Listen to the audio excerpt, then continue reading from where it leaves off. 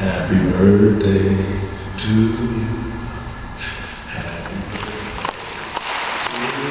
Σε ένα κατάμεστο κλειστό γήπεδο της Pyongyang, ο Ντένις Ρόντμαν τραγουδά το Happy Birthday στον φίλο του, όπως τον αποκαλεί Kim Jong-un για τα 31 γενέθλιά του. Οι 14.000 προσκεκλημένοι ξέσπασαν σε χειροκροτήματα πριν ξεκινήσει ο αγώνας ανάμεσα σε πρώην παίκτες του NBA και της ομάδας της Βόρειας Κορέας.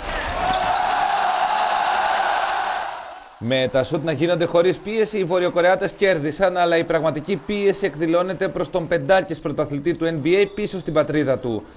Οι Αμερικανικές Αρχές δηλώνουν κατηγορηματικά ότι ο Ντένις Ρότμαν δεν εκπροσωπεί σε καμία περίπτωση τις ΗΠΑ επισκεπτόμενος για τέταρτη φορά τον Κιμ Jong-un.